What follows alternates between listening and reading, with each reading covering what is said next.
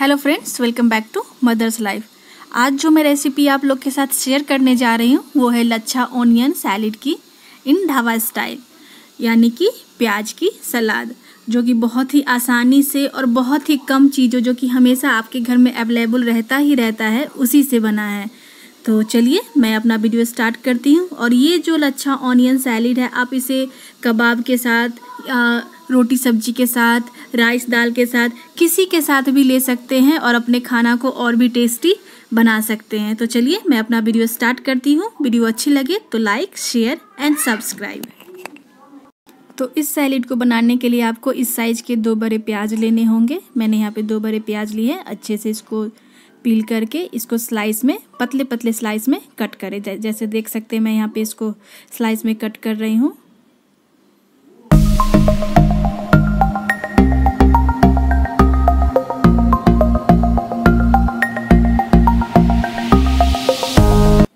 अब इसे एक बॉल में ट्रांसफ़र कर लें, इस तरह से।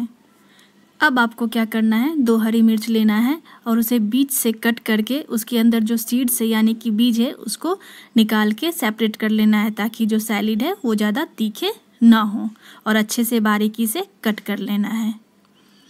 फिर आपको क्या करना है? कोरिएंडर लिप्स यानी धनिए पत्ते को लेना है और उसे भी बारीकी से कट कर लें। उसके बाद एक नींबू लें और उसे हाफ़ कट कर लें।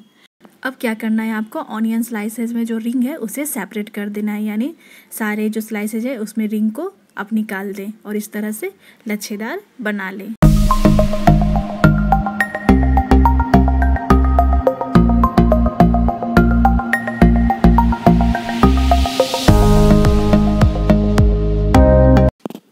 अब इसमें हम लोग मसाले को डालेंगे। तो सबसे पहले यहाँ पे मैंने आधी छोटी चम्मच काश्मीरी लाल मिर्च लिया है। उसके बाद हम लोग डालेंगे रोस्टेड जीरा। फिर डालेंगे चाट मसाला। चाट मसाला ना हो तो भी चलेगा। उसके बाद डालेंगे पिंच ब्लैक पेपर और फिर नमक स्वाद अनुसार। इस तरह से।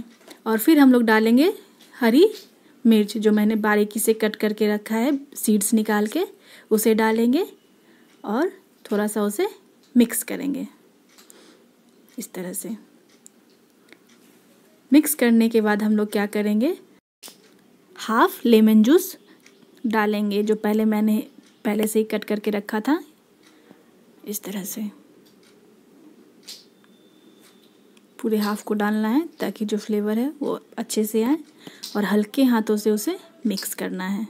इस तरह से। आप देख सकते हैं, कितना बढ़िया बन के तैयार हो गया है।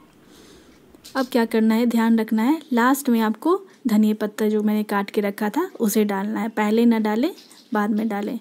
तो ये मेरा लच्छा ऑनियन सैलिड बन के तैयार हो गया है सर्व करने के लिए। आप इसे ज़रूर ट्राई करें। बहुत ही अच्छा बनता है और किसी भी डिश के साथ आप इसे सर्व कर सकते हैं।